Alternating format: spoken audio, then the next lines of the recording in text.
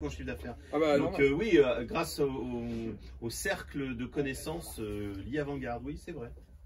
Ça, c'est vrai. Élevé au grain. Élevé au grain. ouais. les meilleurs employés. Allez. De- de- du monde de- et de l'univers. Oh merci. Ah, c'est gentil. Oh, trop mignon.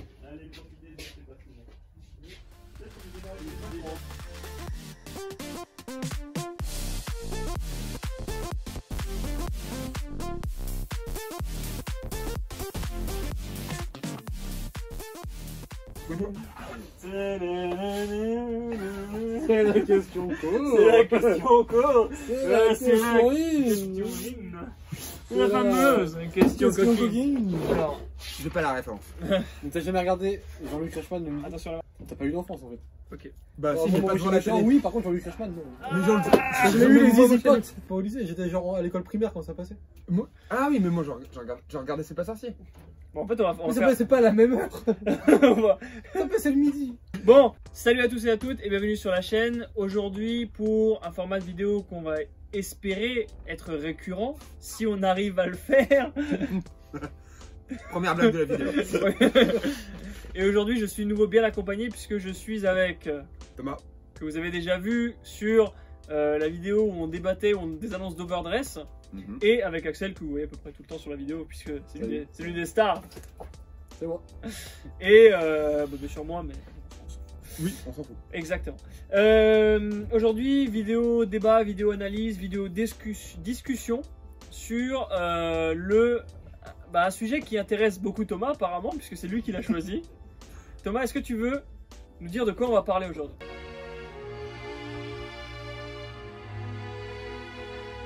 De premium. Alors Thomas, vous le connaissez certainement parce que sur la vidéo avec Overdress, il a dit ça. Premium, c'est un peu pourri, on, met- on mélange tout et puis on regarde ce qui sort. Oh, du cancer, du cancer, du cancer. Du cancer. Ah bon, je vais Voilà. avoir ma ou, verre, c'est alors, pas le. ou alors le premium qui dit Moi je suis, mal- je suis un malade, j'ai- j'aime le cancer. Et aujourd'hui, on va un peu revenir sur le premium au sens où on l'a entendu dans, dans et au sens où il va continuer avec Overdress et voir un peu, euh, au final, revenir un peu sur cette guerre des formats qui a animé l'RV et qui, euh, Continue qui, continue d'animer malheureusement les, les débats entre les joueurs. Euh, Eh, toi tu joues en standard, t'as toujours un premium, eh, eh, eh, eh, le Attends, standard c'est pas bien, le premium c'est pas bien. Elle est écrasée. De quoi tu parles? Mais Chappie là, il est. Ah. Du coup, on va débattre de ça, on va débattre euh, des failles des deux formats, on va débattre du premium simplement, de comment il est géré euh, par Bushiroad et tout simplement, est-ce que ce format est aussi catastrophique ou aussi euh, délétère, qu'on veut bien le, le dire? Donc alors, euh, je vais poser une question simple. Tout simplement, première question, est-ce que vous jouez tous les deux au, au premium? Je vais commencer par Axel parce que je garde Mister Cancer pour la fin. Alors ouais, je joue en premium, après je joue pas tout le temps en premium. Euh, mais j'ai des decks premium qui sont faits. Je cherche pas la méta, mais j'ai des decks que j'aime bien, que j'ai depuis longtemps, où il y a des clans vraiment que, que j'apprécie et qui sont vraiment cool en premium et peut-être un peu moins en standard. Mm. Donc je profite vraiment de la multitude. J'essaye. De la- de la multitude de formats pour avoir des decks qui sont plus intéressants dans certains et moins dans d'autres. Mhm. Et vice versa. Par exemple, un exemple que j'ai là de tête, c'est Claret, Mhm. que j'aimais bien en standard, mais que je trouvais pas assez intéressant quand il est sorti au moment de B12. Alors je parle du Claret 2V. Et du coup, j'ai décidé de monter en premium parce que moi, fait ça, c'est vraiment cool. Tinor encore, c'est vraiment, et c'est même peut-être bien designé pour Claret. Mm. Donc voilà, j'avais été décidé à monter mon Claret en premium euh, à une époque où en standard, je trouvais pas assez intéressant. Mm. Donc euh, pour moi, un deck, ça peut évoluer ce- dans différents formats selon les decks, bien entendu. Mm. Après, on pourra en revenir, un- on pourra y revenir un peu plus tard, mais c'est un, avec Claret, c'est un exemple que je trouve particulièrement intéressant parce qu'en standard, t'as pas mille lignes de play, quoi. C'est genre, euh, euh, bah, euh, bah, euh, je tape, je restand et je set et puis voilà. ça- le deck ne fait Et rien de plus. Il n'a pas d'autres. c'est ça. J'ai plus, plus de- Il n'a pas d'autres d'autres lignes de play que, que ça, alors qu'en premium, tu peux lui donner d'autres aspects. Tu peux faire de la multi sur Mofessa, euh, tu peux jouer des stands et faire des Ouais, combos. tu peux encore, tu peux juste faire Claret pour avoir de l'orly avec. c'est ça. Il y, y a plein de trucs Et après partir sur un autre truc, Claret. PBD en fonction des match-ups, Oui. euh, des, des, des plays plus conservatifs, etc. Donc le deck prend toute une autre dimension, il y a plusieurs strides qu'on peut utiliser, donc on n'est pas bridé juste à jouer simplement Avec. Claret, aggro, essayer de tuer aussi vite que possible. Et si ça passe pas, on n'a plus d'aggro, on est mort. Voilà. Du coup, euh, toi tu joues actuellement encore en premium Oui. Et euh, est-ce que tu comptes jouer en premium avec Overdress? Bien sûr. Voilà, donc premium plus plutôt casual, on va dire. Oui, euh, oui, je pense. À part si à un moment on nous offre du compétitif intéressant en premium, et je parle aussi en termes de tournoi et de lot peut-être, Mm. où là ça pourrait peut-être pousser un peu plus à s'intéresser au jeu euh, en premium, mais là vu que je vise de toute façon le standard, le V et le premium, euh, moi je suis pas un joueur qui vise du compétitif de manière générale, je vais pousser mes decks autant que je peux. Par contre, je pousse les decks que j'aime bien, et s'ils sont bons, c'est bien, s'ils sont pas bons, c'est moins bien. Ok. Et toi, Thomas, du coup, euh, le premium? À la décision de tous, j'ai du premium. Oh non Mensonge Tu t'es fait dépister Oui, oui, non, je, je ne souffre pas du Covid, j'ai- j'ai j'ai- j'ai encore mon sens du goût. Mais ouais, si. Bon, les quand qui jouent, hein, des fois, on se pose la question. Il aime bien le Buddy Fight. J'ai j'ai l'oreille qui me Il a- de bourdonner à ce moment-là. Il a, il a voulu tester Gate Ruler. euh, Il a dit une fois que Clichy m'avait l'air sympathique. Oh là là là là, ne cautionne pas ce propos. Oui, du coup. euh, Ah non, non, euh, en fait, les clans que je joue en, en premium, bah, ce sont les mêmes que je joue en standard. Mhm. C'est-à-dire bah, Great Nature, Nubatama et DP, et Gear. Ça fait beaucoup des fois. Mm.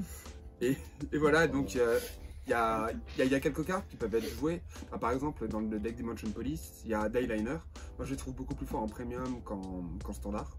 Donc, il est dans mon deck premium. Et puis, quand il, quand il aura fait le voyage de Rennes jusqu'ici, je pourrais le jouer. Et euh, sinon, bah, pareil, pour euh, les, pareil pour Great Nature, le support de la BT12, BT11, BT12 BTD, Non, non, BT11, 11, BT11 de la BT11 était très sympathique, hein, vraiment très très cool. Mais quand on joue, et quand on comparait aux, aux autres, bah il y avait ou Harold Bigberry, ou alors c'était euh, ou alors c'était Full Crit. euh, Loïc, notre préparateur de commande. Eldingus Tu ma gueule. Eldingus Bon, Ouais, bon c'est week-end. bon week-end. À lundi. Ah, Vas-y. Du coup, tu disais. Euh, et avec euh, Isabelle où tu jouais 12 crits et t'espérais de stacker tes crits avec les effets, tu touches pas de trigger, bah tu meules et puis t'espères avoir un, un meilleur check. Et là du coup ça fait deux versions totalement différentes de Great Nature Premium. Une qui va vraiment jouer avec bah, toujours les combos avec Duck Bill et Mickey Saburo. Donc être la version Big Berry qui a des combos très aggro, très sympathiques.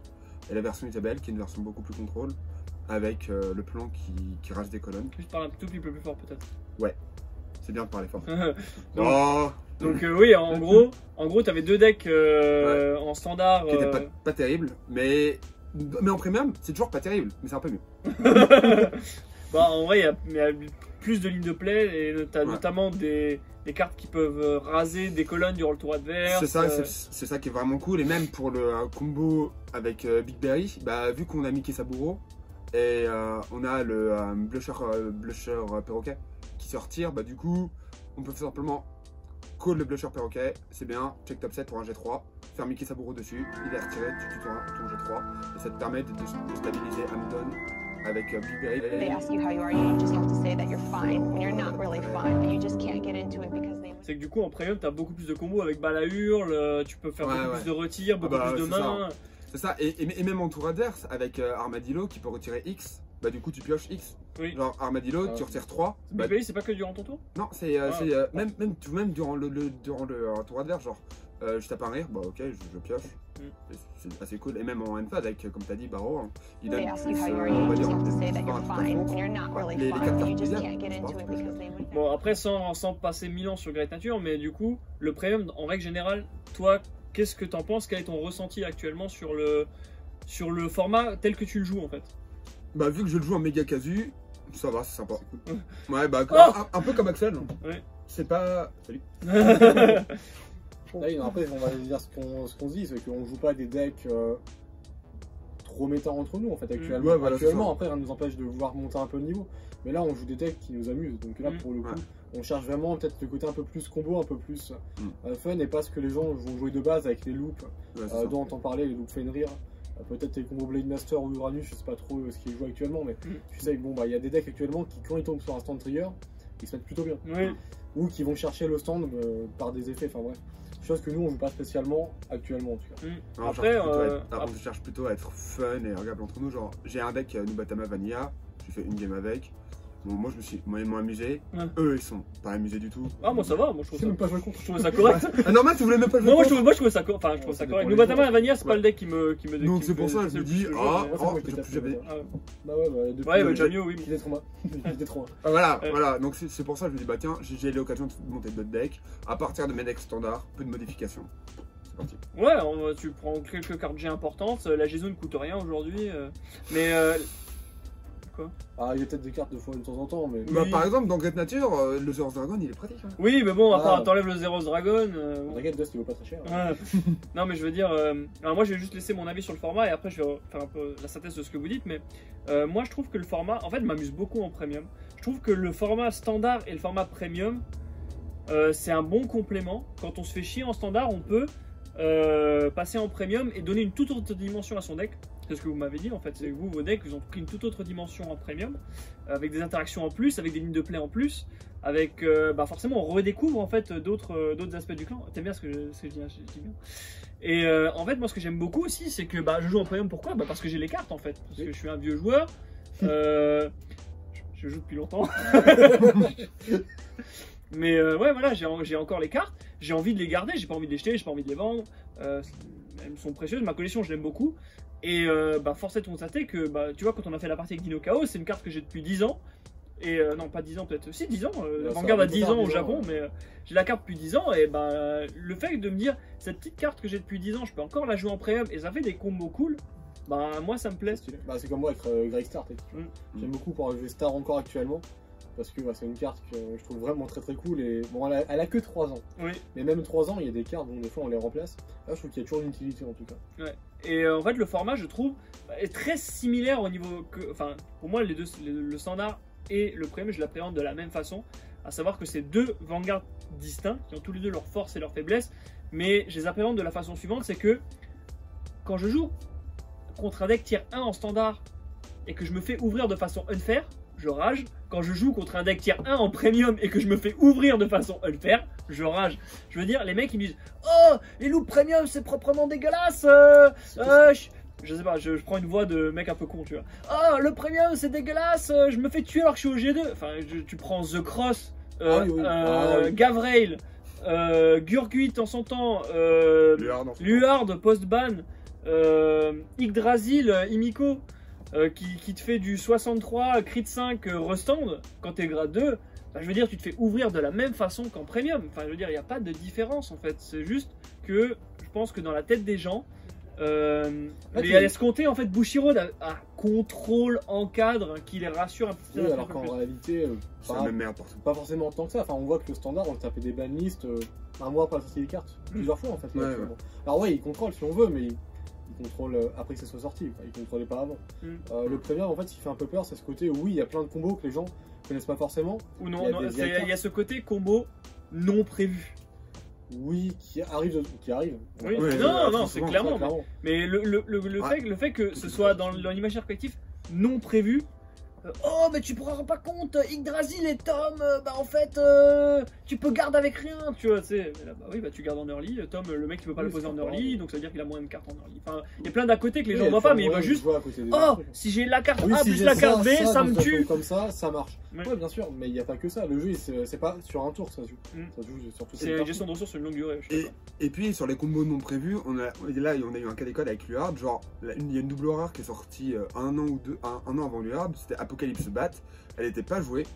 Euh, Luard a été ban, du coup il y a eu des combos insane avec Apocalypse Bat, voire peut-être même plus fort que Luard avant la ban. Et ça, ça aussi pour moi c'était un combo qui n'était pas prévu parce que Apocalypse Bat, qui aurait pu dire qu'un jour, cette l'évolution carte là, matérielle. Ouais. un, un jour cette carte là, elle va rendre un deck méta. Mm. Ben, en voyant la carte, personne ne Bon, après, Luar, c'est quand même méta, même sans Apocalypse Bat, mais Ouais, ça- ouais, ouais, mais t'as les combos un peu plus. Ça, ça euh, fait 5. Attends, ça fait. Cinq. Une... Ouais, ça fait 5 cinq attaques. Et ça, pour moi, c'était un combo qui était pas prévu. Pas... Qui était Oui, pas prévu bien par, sûr. euh, Mais, euh, c'est un, truc, des combos pas prévus, ça marche premium standard. Mais du coup, je, je sais pas si vous le ressentez pareil, ce côté, euh, les deux dans le tier 1, c'est assez euh, horrible. Mm. Ou jouer, peut-être pas compétitif, mais genre vraiment les gros decks, Oui, moi j'ai trouvé tu joues un vraiment. gros deck contre un deck qui est d'un tiers en dessous, ça peut très vite se ressentir et être frustrant. Mm. Ouais. C'est des moments où on peut juste rien faire. Ouais, je pense à The Cross personnellement. Salut Karim. Salut La dernière fois qu'on a joué Salut, The Cross, Karim. un peu salé. Euh, je te l'admets. Et oui, The Cross par exemple, c'est l'exemple que j'ai qui m'est en tête, tu l'as dit tout à l'heure, c'est un deck que je trouvais vraiment frustrant parce que s'il a sorti, tu peux rien faire, t'es mort. Oui. Et s'il l'a pas, bah super, t'es sur le cul parce qu'il a pas eu ce qu'il fallait en fait. Mais euh, il y a un autre, euh, un, autre, un autre truc, moi, qui. Enfin, par exemple, je prends un exemple euh, assez typique, c'est que les gens vont voir une interaction. euh, par exemple, je prends une interaction sommaire, euh, je sais pas, Ichitom, tu vois. Ouais. Le mec il stride, il est en GB3, il pose Tom, il a double crit, oh ouh, je peux pas garde. En standard, le mec joue Shiranui, il fait Mitsukaze, il double crit, tu peux pas garde non plus, tu vois. Ah, c'est bizarre, ça me rappelle quelques games qu'on a fait. Ouais. Un peu là. The Cross. Mais Ishitam, mais Ishitam, il y a un bon combo, c'est le petit G1 promo euh, de Dimension Police qui fait c'est bien, tu peux pas booster. Du coup, les tomes ils sont à 9000. Sauf si, sauf si tu prends les triggers ou des dires. Ta gueule. Mais euh, ouais, non, en gros, euh, voilà, le, le, le, le truc, c'est que, vous voyez ce que je veux dire, c'est qu'on a cette dimension où, genre, dès qu'on voit le combo, euh, on a l'air, c'est méga insane, je veux même pas y jouer et tout. Euh, Après, pour moi, il y a une aura négative autour du premium qui est portée par des joueurs parce qu'ils ont peur du, du format en fait, je Mm. pense.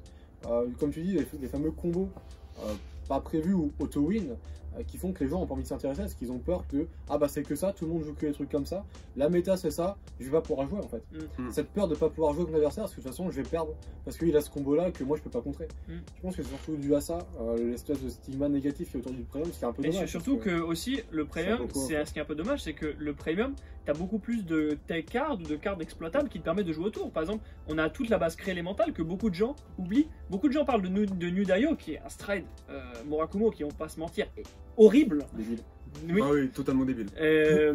Mais par contre, euh, personne se dit Ah bah ça peut me tuer alors que je suis grade 2. Bah je vais pas taper pour pas donner CB. Je vais jouer Roloc qui fait PG quand, quand, quand je suis grade 2. Pareil pour euh, OTT avec euh, tu sais, le combo Calico euh, et Amaterasu. Oui. Ah bah je tape. Bah ok, bah je Roloc dans mon deck, je vais PG, tu vois. Euh, pareil euh, avec Gabriel euh, qui du coup maintenant joue en premium par sa base standard. Euh, bah, bah je fais de ma miel. Bah. Ouais, non, Euh, Pour les decks euh, à beaucoup de multi-attaques, pourquoi ne pas jouer au. Noli Euh, Pour les decks qui se Belloc, tu t'as Bobo.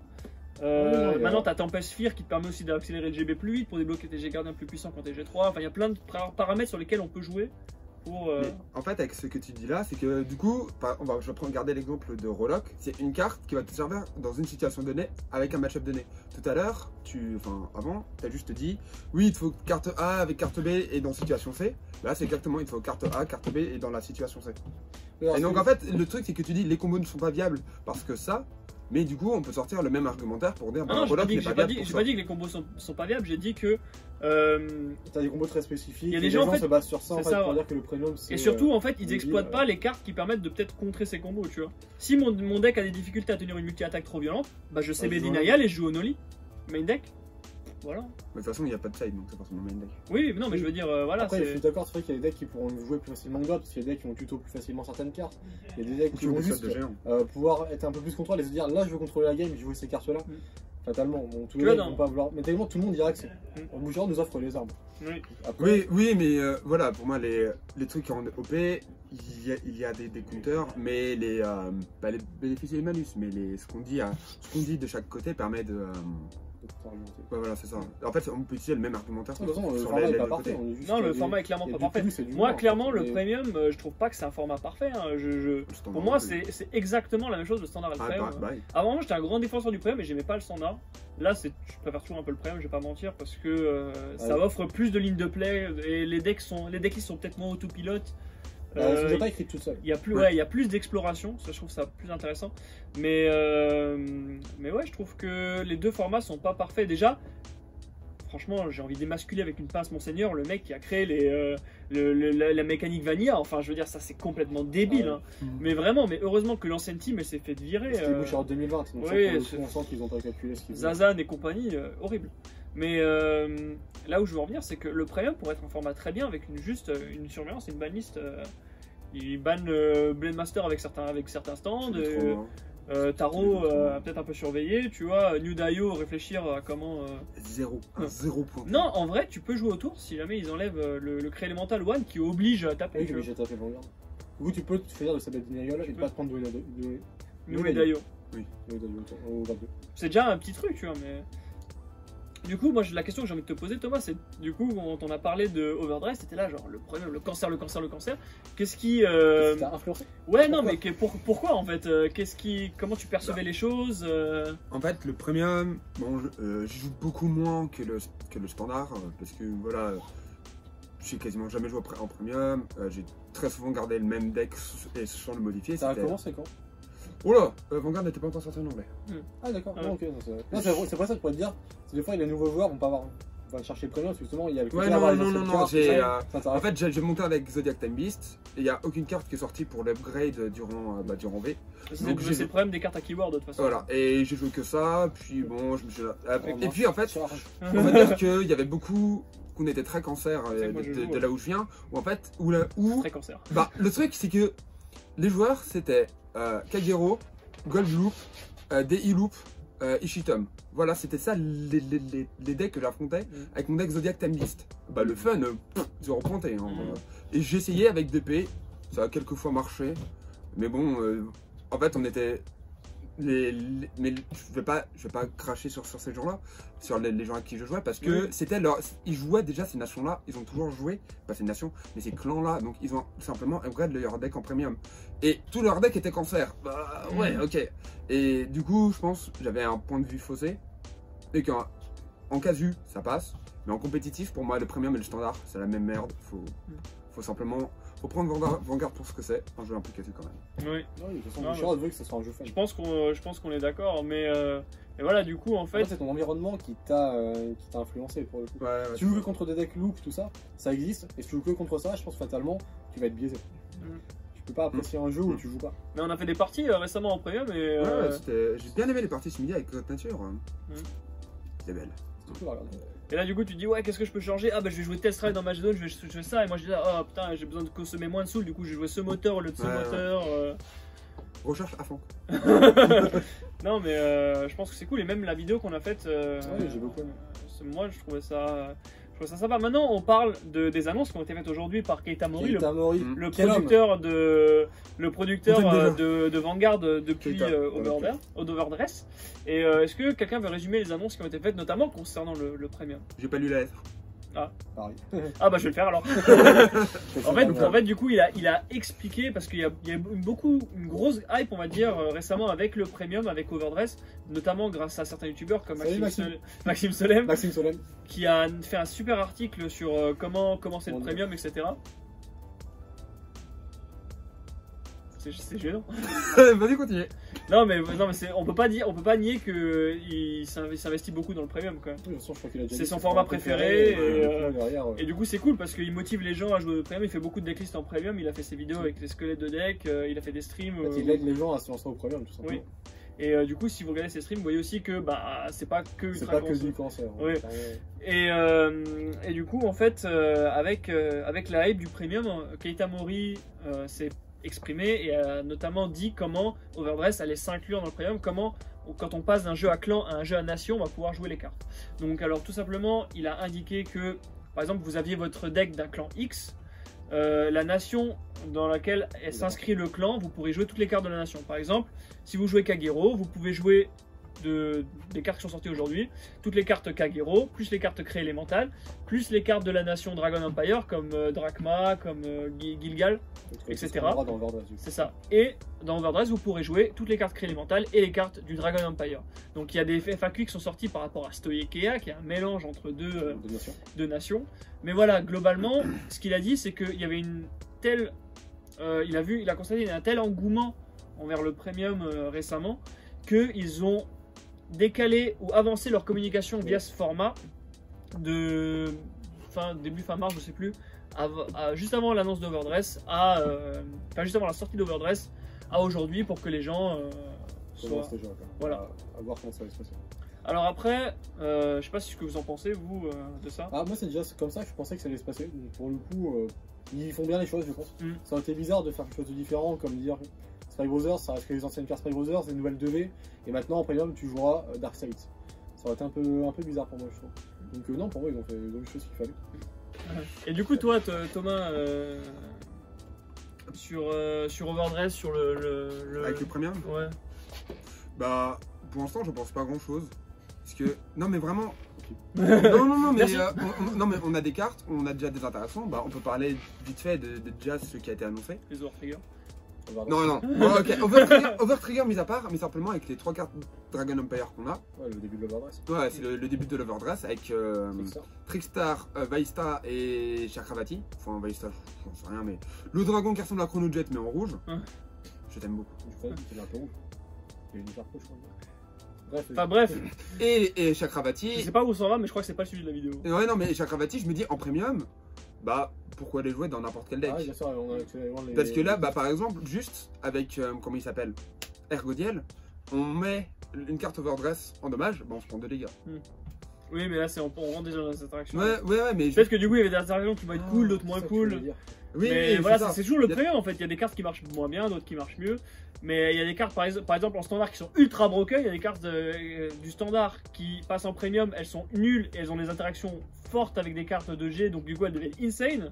Euh, Je pense, euh, genre Glepnir, euh, Tarot, euh, qui fait Blade Master avec des jusqu'à la fin stands. du tour. Blade Master avec des stands, euh, Ouais. voilà, des trucs comme ça. Et au contraire, des cartes qui sont broken en, pré- en standard et qui sont nulles en premium. Je pense à Amiel, euh, puisque du coup on a les J-Guard en premium, on a Rolock. euh, Mm.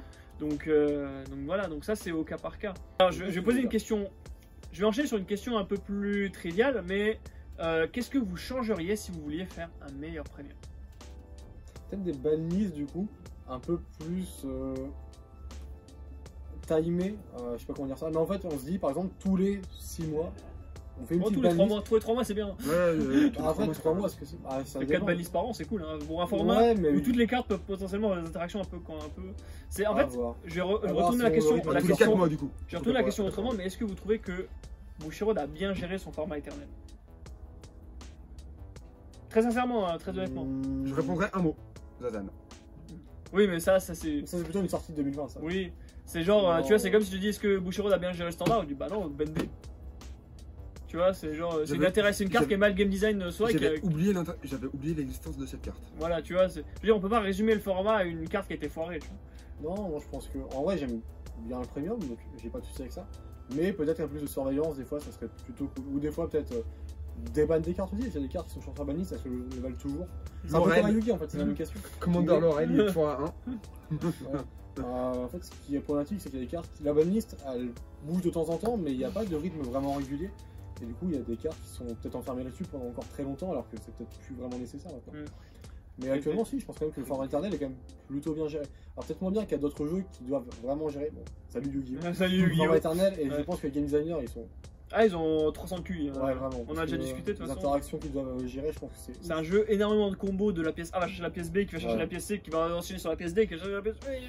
Après on fait tout l'alphabet, après on fait l'alphabet grec, pour au final arriver sur. Attends, Ouais, bah après, des fois, t'as les Ah, je trouve ça. C'est toujours pareil, il y a des. FTK qui sortent alors qu'au final, c'est jamais des trucs viables, Mm. peu importe. Mais non, je pense quand même que Vanguard s'en sort plutôt bien actuellement en tout cas. je Ah, critiquais pas Yugi. Hein. J'arrive à avoir, du fun, donc euh, ouais, pareil, du coup, bah, je joue. Ouais, bah pareil. Mais euh, du coup, toi Thomas, tu penses que le format éternel a été bien géré? Bah pour moi, aucun des deux formats n'a été bien géré à cause des sorties 2020 et que. Ah ouais, je, je vais pas dire doublon d'Axel, pour moi il faudra des bannissent plus régulières. Et surtout, il faudra changer le format, le format BO1. et- Ah oui, mais ça après, on parle pas Après, ouais, voilà. on Après, en fait, oui. Le truc, c'est que les- ce que je peux dire au, au, à Premium, je peux aussi le, le- le dire au standard, que pour moi, bah, un BO1, avoir un jeu compétitif en BO1, c'est une, c'est une erreur. Ouais, on l'a dit avant, c'est pas un jeu compétitif. Oui, c'est Voilà, c'est ça, c'est ça, comme je l'ai dit. c'est- Euh, tant, du coup, tant qu'on joue en casu, Moi, cool. je vais donner mon avis sur, sur ça. Je trouve que le format premium est très, très, très mal géré. Euh, bah non, mais non, mais je veux dire, tout le monde constate, tous les joueurs premium constatent 5, 5 ou 6 cartes à ban. Et, euh, mais sauf que, Le, le chiffre a augmenté. Sauf que bah, la ban, ils les font pas en fait. Parce que le format qui les intéresse, c'est le standard. Après, actuellement, les tournois, ils les font pas non plus. donc, Oui, euh, bon après, oui. Après, est-ce que le problème vient pas aussi du fait que du coup le premium est visiblement moins populaire en OC, enfin, au Japon ou au pays, dans les, bon, en OCG on va dire, Mm. et que du coup comme ils ont moins de tournois, ils font moins attention aux résultats, et du coup ils se disent pas tiens ce deck là il est trop populaire. Alors certes il y a les Worlds, Ouais. où du coup on voit souvent, alors, il y a une année on voyait plein de SL par exemple. Ouais, mais après, il faut pas être un génie pour voir certaines interactions qui sont un peu. euh, voilà, tu vois, genre Blade Master euh, stand où tu peux avoir des attaques infinies tant que tu que des stands.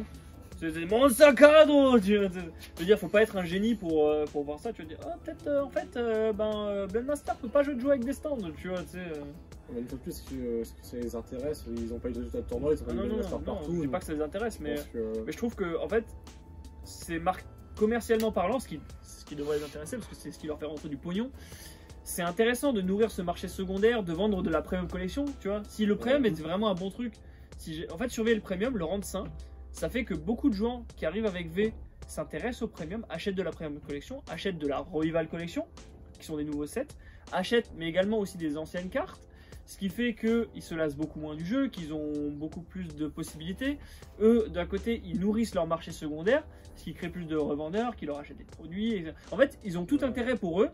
C'est un commentaire qui revient beaucoup euh, de la part des joueurs, c'est ils veulent tuer le premium. Ils n'ont aucun intérêt à tuer le premium. C'est vraiment, c'est euh, si vous pensez que Bushiroad essaie de tuer le premium, désolé, mais vous avez trois de QI. euh, parce que euh, je viens d'insulter une partie de mes viewers. Bien. Mais non, mais c'est pour eux, les deux formats nourrissent une base de joueurs commune en fait. Je veux dire, Chris, il a dit un truc qui est très très vrai. Il a dit vous mettez dans une salle un joueur Vanguard 0, un joueur Vanguard standard et un joueur Vanguard Premium. Même s'ils jouent pas foncièrement au même jeu, bah, ils ont toujours quand même Vanguard, c'est toujours des clients de la franchise Vanguard. Et donc ils ont tout intérêt à nourrir leurs trois bases de joueurs euh, en ayant des formats équilibrés. Et pour ça, bah, malheureusement, il faut une surveillance. Le format Eternal, c'est très simple. hein. Le standard va se déverser dans, dans le premium et il faut qu'ils puissent être sûrs que le premium reste sain et équilibré. Et ça, actuellement, ils le font pas pour Ouais, moi. il- euh, même pas actuellement. Ouais, non. Pas en compétitif en tout cas. Ouais, ouais, en compétitif, sur pareil. Parce que bon, quand, quand tu joues avec tes potes, euh, en, en remote, ou ou même en, en remote, en remote fight, euh, vu que c'est surtout du casu, etc., essayez de, de jouer des decks pas vraiment, pas vraiment cancer, euh, Hmm. pour bah, autant jouer pour le fun. Hmm. Bah, fais même- le hmm, parce que je joue pas en remote. Non, non, non, mais je dis, euh, c'est pas jouer des decks cancers, ça m'a fait un peu rire. tu vois. Ah oui, c'est Mais- vrai que, que t'as joué, c'était quoi que t'as joué euh, C'était Imiko? Non, c'était pas Imiko, c'était Yggdrasil Loop ouais, bah non, non, pas Yggdrasil Loop, mais Imiko Yggdrasil en standard. hein. Ouais, ça, c'était Moi, j'aime bien ce deck. je, suis un, je, suis un, je suis un joueur cancer. Non, mais euh, en vrai, euh, euh, Ah, on peut, on peut- est-ce qu'on peut se mettre d'accord pour dire que Ah le oui. format le standard et le premium, c'est la même merde en fait Ouais, bien sûr, il y a des problèmes dans tous Ah, les toujours dit. Mais après, il y a un truc que, ce que tu as dit, alors à peu près, euh, c'est vrai que je pourrais rebondir, c'est que pour l'instant, ils font rien pour que ça. Enfin, je dirais pas rien, mais ils font pas beaucoup de Non, ils font rien. euh, moi, je suis On désolé, va ils voir font, ils font font rien. de concret à un moment. En fait. Hmm. Je- on, on voit souvent comme le grand défenseur du premium, mais j'en pense pas spécialement plus de bien que. Si, ah, je préfère un peu plus que le standard, parce que je trouve que ça a été très mal géré pour un reboot. Alors que le premium, il a l'excuse de au moins les combos, ils peuvent, ils peuvent pas tous les voir, tu vois. mais, euh, mais oui, je, déf- enfin, je veux dire, euh, le premium pour moi n'est pas exempt de défaut. C'est un format qui, est, qui peut être vraiment horrible et très frustrant. Le dernier tournoi que j'ai fait à Parkage, ah, c'était une purge, hein. euh. Ouais, par cage. Ouais, c'est une. T'as Pas affronté Parkage, le, le tournoi maintenant. Hein? Ah, j'ai raidé euh, une fois grade 3 dans tous mes matchs. Ah, on dirait moi en baisse. Non mais c'était c'était horrible, hein. Nudayo, euh, plus Vanilla.deck, euh, plus... euh, Oh putain, mais j'ai passé une sale journée. Mais euh, voilà. Et après, après, je voulais rentrer à la maison. Je voulais m'arrêter, prendre une pizza chez Domino's. 25 balles la pizza Mais putain de merde Quelle journée de chiottes quoi Non, mais t'a- t'avais pas pris la pizza genre quadruple XL Non tout le En fait, ils font Ouais, vous avez une pizza achetée, une pizza offerte, sauf que bah, ta pizza, normalement, seule, c'est 10 ou 11 balles, et là, ou 12 balles, tu vois. Et là, ils te font Ouais, si vous en achetez une, vous en avez, vous en avez une offerte, sauf que la pizza que tu payes, elle a 25 euros, tu vois. Donc en fait, c'est genre si- comme si vous achetiez deux pizzas normales. Mais ils font pas ça, ouais, non C'est Une Ouais, pizza achetée, une pizza on- offerte. ici, on- Et- ici, Et les pizzas, elles sont à 10 balles. Ici, on est à Paris. Donc, euh, non, mais je vous laisserai con- conclure sur le format. Mais enfin, faut vraiment qu'ils fassent des efforts sur le premium pour moi. euh. C'est Mais vrai, arrêtez, c'est par pitié, juste pour les joueurs, arrêtez de nous rabattre les oreilles avec chaque fois que quelqu'un veut jouer en premium. Euh, non, c'est toujours format cancer. euh. C'est pas, ça m'arrivait pas plus tard qu'hier. Il y a quelqu'un qui dit Ah, vous avez cette carte Oh, tu joues encore en premium Oh, pourtant c'est le format le plus nul à chier. euh. Aïe aïe aïe, ça dénonce. Mais euh, C'est pas que le premium, faut qu'ils fassent attention au premium, vers, vers régulation et au, et au euh, standard. Ouais, mais ils ont beaucoup moins de chances de se rater. Ils sortent littéralement de 7 par an avec 3 cartes par clan. Ça devrait. Ça devrait. ça devrait. ils sont ratés Allez. sur Bendé. Donc, euh, Attends, et Mais, euh, je ils ont sorti deux cartes de Je vais vous laisser euh, conclure euh, sur le standard. Thomas d'abord, Sur le qui euh, sur le premium pardon. Thomas d'abord qui était un joueur qui bah, n'aimait pas beaucoup le premium quand on a fait la vidéo sur Overdress et qui aujourd'hui il joue, c'est déjà bel- converti. c'est- c'est c'est Ouais, mais vous- j'ai on va dire, j'ai eu des bonnes offres commerciales pour me mettre facilement au premium. Sur package.com. non, pas du tout. Merci Tristan. Ça vous le sachez faire. Merde. Et bon bref, euh, j'ai eu des bonnes, j'ai des bonnes, j'ai des bonnes offres et vous deux vous jouiez en premium, en premium. Je vous ai vu, je me suis dit, ah c'est pas C'est mal. vraiment cool quand même. C'est c'est pas mal, il y a quand même quelques et, interactions sympas. et musclé. Et puis, et puis on m'a dit, Eh, regarde, si tu veux, j'ai ça pour toi à un prix sympathique. J'étais genre, attends, j'ai pas le sorti Vanguard 66 le mois prochain. Non, mais en plus, ce qui est, ce cool, ce dont on n'a pas parlé, c'est que c'est assez facile de se mettre au premium. Tu prends un deck Ouais. standard qui est déjà une très bonne base, tu mets une G-Zone et 2-3 cartes. Qu'il y a eu des cartes qui ont été rééditées exprès, il y a des cartes très récentes qui étaient très très bien dans la dernière euh, Premium Collection. Donc oui, se lancer, c'est pas si compliqué que ça. Il faut juste réussir à récupérer certaines cartes pour certains clans des fois, c'est un peu plus compliqué. Et à dépasser l'a priori de. Oui, voilà, faut pas avoir trop peur de se lancer en fait. Et jouer avec des gens qui jouent pas des, les decks cancer. Après, tu peux jouer avec des systèmes le Bah, compétitif. c'est le compétitif, tu peux, mais après, oui, c'est une autre façon de Il y a des gens qui c'est retrouvent du plaisir à jouer contre nous d'ailleurs. Hein. Ça, c'est des sadomas, ça s'appelle des sadomaso. mais- Bah ouais. Ah bah, je t'ai vu, même moi, j'ai pas envie. quoi. Ouais, non. et Dieu sait que les crochets et le cuir. hein. Et les moustaches.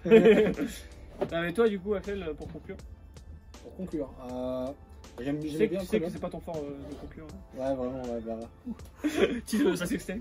Alors Euh, non, mais pour conclure, honnêtement, le premium, moi, je pense que ouais, essayez, essayez. Il y a, il y a... Trouvez votre deck en fait, et trouvez des gens avec qui jouer, comme Thomas le disait en fait. Trouvez des gens si vous voulez jouer en. Pour vous lancer, commencez déjà par des decks fun. Un deck qui vous plaît, votre deck standard, une petite liaison, pas forcément une jeune complète, quelques cartes. La carte qui semble être la carte principale, probablement la carte de la dernière Premium collection du coup. Hmm. Et faites votre deck autour, voyez ce que ça donne, et peut-être que vous verrez des interactions que vous pensiez pas être possibles, euh, aussi bien en bien qu'en mal, Hmm. chez vous ou chez l'adversaire. Mais vous verrez qu'il y a plus de profondeur que ce qu'on peut penser, et c'est pas juste on joue du cancer et euh, salut Thomas, Salut. on joue du cancer et euh, on, on s'emmerde en fait. Il y, a, il y a vraiment des interactions, des choses à découvrir. Mm. Et si vous êtes un nouveau joueur, en plus, ça va être vraiment très intéressant de vraiment découvrir. Si vous êtes un ancien joueur, vous pouvez redécouvrir des combos. Euh, mais vraiment, je pense que le premium c'est une très bonne chose. Moi j'aime bien perso. Euh, c'est pas mon format préféré.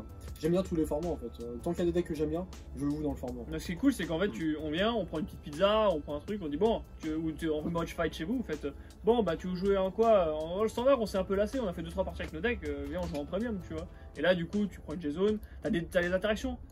Euh, comme tu dis, autant en bien qu'en mal. Moi, je joue Achat, qui est un deck assez rigide en standard, il n'y a, y a pas mille lignes de play, on va pas dire Et là, du coup, vous pouvez prendre votre deck standard, et là, votre Augusto qui sert juste à booster votre Vanguard euh, la offensivement, bah là, avec le J-Guard, il devient défensif.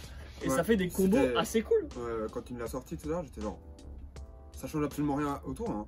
J'ai quand même gagné. hein, Ouais. J'étais quand même défoncé, mais j'étais genre, oh, On parlera de la deuxième. Ouf.